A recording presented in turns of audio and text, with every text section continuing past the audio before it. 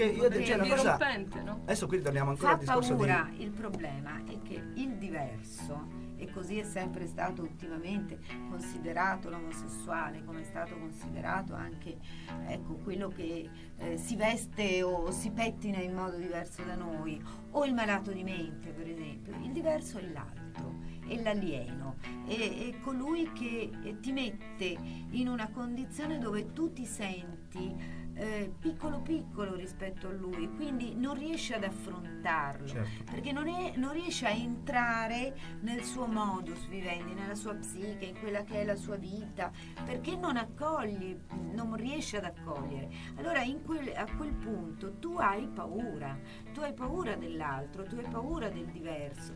Per esempio, non so se hai visto, se i nostri ascoltatori hanno visto, è un film recente che Io l'altro con, con Raul Bova e Giovanni Martorano, che è un film scritto da un, eh, da un tunisino, eh, dove si parla della diversità, dove si parla di io l'altro, perché dentro di noi, in questo caso il diverso era un tunisino che eh, apparentemente via radio eh, Raul Bova sente sono su una barca e sono due pescatori amicissimi che hanno lottato per riuscire a conquistarsi, eh, a comprare questa barca, che giocano e scherzano insieme e poi l'unico strumento di comunicazione è la radio.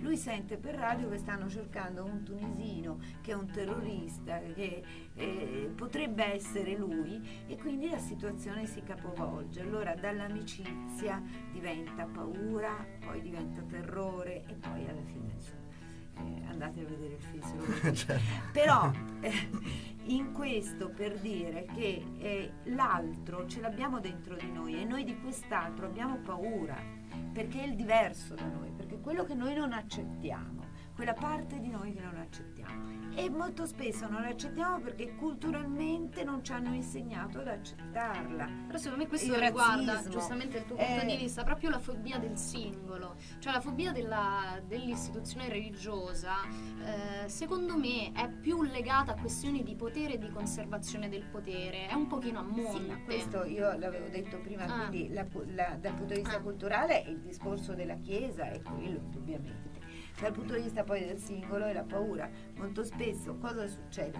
Certo, Eh, certo. Ci si integra in una comunità come può essere quella religiosa perché in quel modo si è protetti. Sì, perché quando la Si Chiesa è parla protetti poi dall'altro, da chi ti fa paura quindi da quello che è Certo. diverso Ma da questo è te. verissimo. Quando poi la Chiesa parla di questione morale, effettivamente, si riferisce soltanto alla parte sessuale, effettivamente. Che perché è io non ho, mai, non ho vi- perché non ho mai visto la Chiesa scagliarsi Beh, contro. uno dei dieci sì. comandamenti è non fornicare, Sì, però, Eh, no, però sì. non, non che desiderare no, la no, donna Però c'è però in uno dei comandamenti, dei comandamenti anche non rubare. Perciò, sì, eh, ma è più semplice scagliarsi settimo non contro rubare. il sesso che è il fondamento comunque anche delle No, relazioni perché io non ho mai umane. visto la Chiesa alzare un solo dito o, una sola- o spendere una sola parola eh, contro eh, situazioni di gravi corruzioni, concussioni Appunto, oppure dicevo, di più situazioni. sem- è il peccato eh, più semplice da imbrigliare. Quello C'è anche non uccidere nella Chiesa, però non ho mai visto la Chiesa, a parte eh, in maniera la marginale, scagliarsi contro le guerre, contro alcune situazioni eh, piuttosto... Pure la stessa- la stesso, lo stesso paradosso di Rico De Pedis che ha ammazzato più di 80 persone,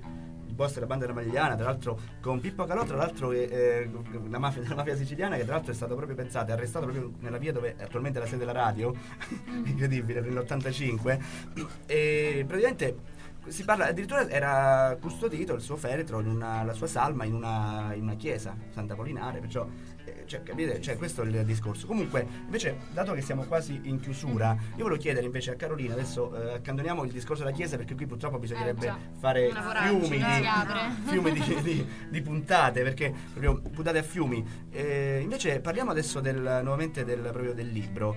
Eh, quali sono le cose, ci puoi raccontare?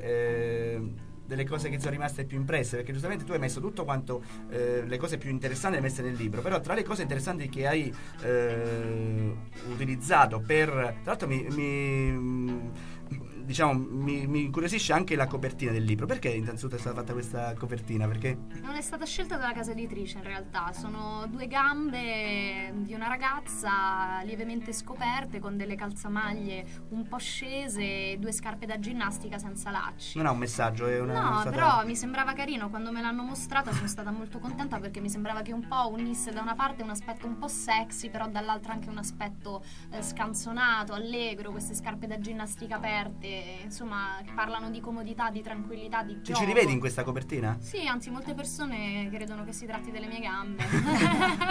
Invece torniamo alla domanda di prima. Eh, qual è la cosa, tra le varie cose interessanti che hai messo insieme poi per poter Mhm. eh, scrivere e poi pubblicare questo libro? qual- c'è una cosa che ti è rimasta proprio eh, più impressa delle altre? Nello scrivere? No, no, nelle, Cioè- delle, delle risposte dei tuoi, mm, dei, dei tuoi, diciamo, dei tuoi interlocutori, ecco, sul, sul blog. Ma guarda, poi- sì, iniziano, è uscito da un paio di mesi, iniziano ad arrivarmi delle email di persone che l'hanno letto finalmente. E una delle ultime che veramente. A parte le mail, però delle cose Ah, che hai pubblicato, dicevo. Non ho capito allora la domanda, perdonami. Cioè, Tu diciamo hai raccolto un po' quelle che sono le impressioni Ah. anche che del, del blog. Mhm. In tutti questi quattro anni eh, in cui hai gestito questo blog, c'è qualcosa che ti ha colpito più delle altre?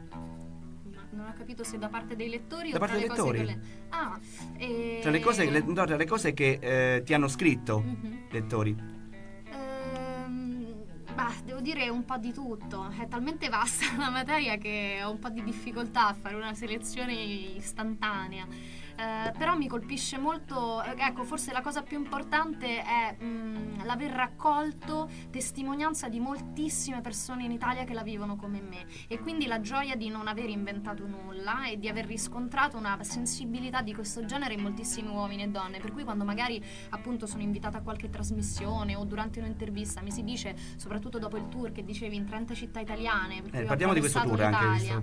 eh, come ho visto quest'Italia, cioè io mi, mi arrabbio quando si parla dell'Italia bigotta perché ho scoperto grazie a quattro anni di blog, grazie a tutti gli incontri di persone faccia a faccia che ho avuto da Milano a Napoli, in Sicilia, in Sardegna, ovunque veramente in Italia, ehm, ho incontrato persone che hanno una capacità di vivere il sesso con la gioia e la naturalezza che merita, ma tantissime, che mi scrivono tutti i giorni email in cui magari mi dicono eh, non eh, brava mi ha insegnato qualcosa, ma brava perché hai detto delle cose col tuo visino da ragazzina, hai finalmente ridato una dignità che il sesso merita e che purtroppo fa fatica a trovare nei media e ne- nella nostra società. Quindi questa è una cosa che, che mi è successa spesso che mi abbiano scritto questo, cioè io mi sento porno romantico, non sapevo che esistesse né questo termine né questo blog, sono due giorni che lo leggo e che mi ritrovo in quello che scrivi.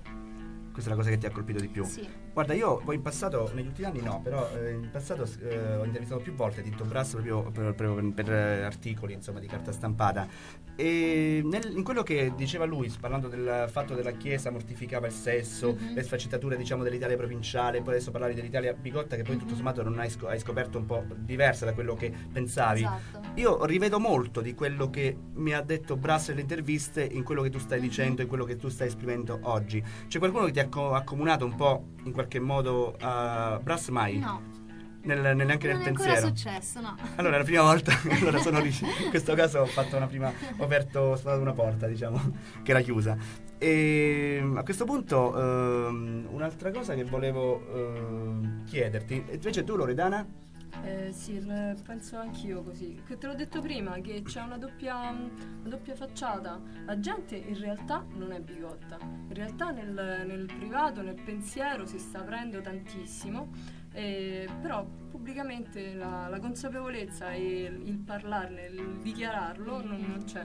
Non c'è bisogno che uno parli del proprio privato, per- però neanche che faccia... mm, Finta di essere quello eh, che non è. Sì, ecco questo, perché purtroppo quando si parla di erotismo, anche sui giornali, alle trasmissioni, o va vi- eh, viene presentato il lato oscuro, il lato brutto, il crimine, oppure si mette in ridicolo. Non c'è una via di mezzo, una sana e tranquilla via di mezzo. E questo è il problema fondamentale. Però la gente è diversa.